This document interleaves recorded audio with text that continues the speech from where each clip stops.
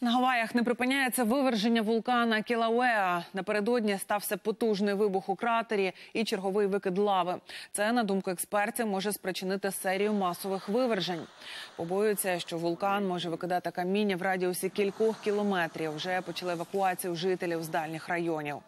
У землі з'являються нові тріщини, з яких виходить лава та отруйний газ. Таких нарахували вже півтора десятка. І ще більшу активність вулкана очікують всередині травня травня.